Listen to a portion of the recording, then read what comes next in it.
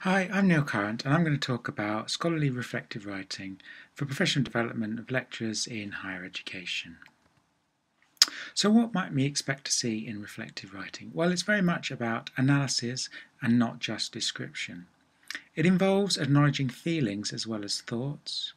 You need to demonstrate a sense of development and learning through the reflective process. It is about being critical but constructive. You should ask yourself questions and challenge your own assumptions. It should include feedback from others, so Brookfield's four lenses. It is informed by literature and theory.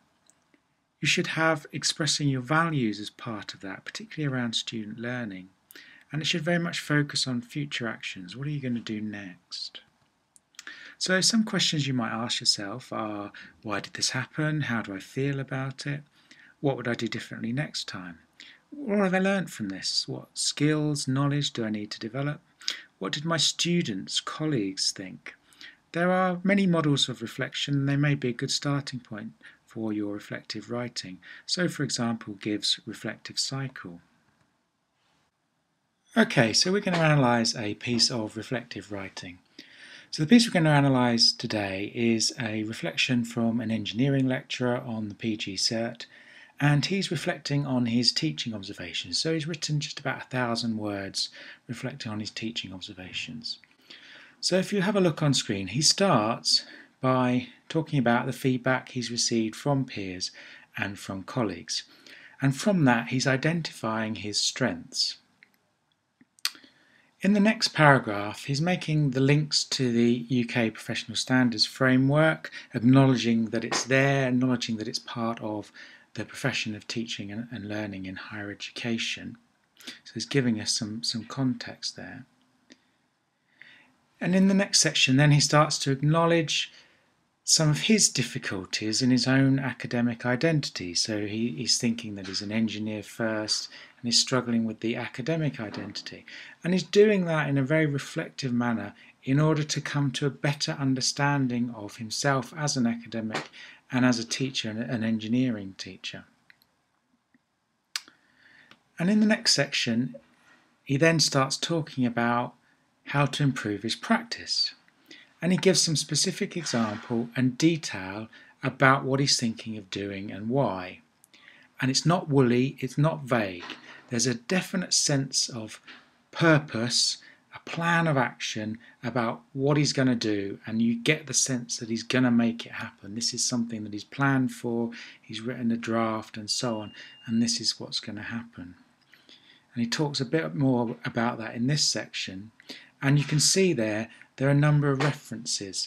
So he's starting to integrate the theory into his own thoughts and his own reflections to help him to justify the changes he's going to make and identify the benefits that those changes will make to his students.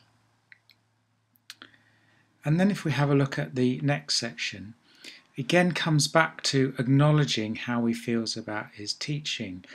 And he's very much questioning himself, questioning his practice, and he's using feedback to support his perspectives and to explain why he's adopted certain practices. So there's that feedback from peers, from students, and his own thoughts and reflections coming together to sort of say, this is what I'm doing, this is why I'm doing it.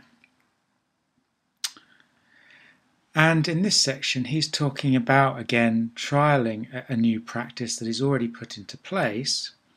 Um, and he's getting feedback from students. So we've had feedback at the beginning from, from peers, from colleagues. Now he's talking about some feedback that he's got from students on his teaching. And he's very much considering the student perspective and the impact of his teaching on his students. And I think that's a really crucial part of the course and any reflection about student learning. And then finally, very briefly, he has a conclusion where he summarizes what he's learnt and his future actions. So, in summary, what are the strengths of this reflection? Well, the writers identified their own strengths. They've acknowledged the challenges and they've questioned themselves in order to help their own understanding of their practice. They've explained the rationale for their practices and the decisions that they've made. They've given specific examples of how practice will be improved. They've sought feedback from colleagues, from students, and it's suddenly informed by literature and theory, and possibly most importantly of all, it considers the student perspective. So just a quick guide to reflective writing. I hope that's been useful. Thank you.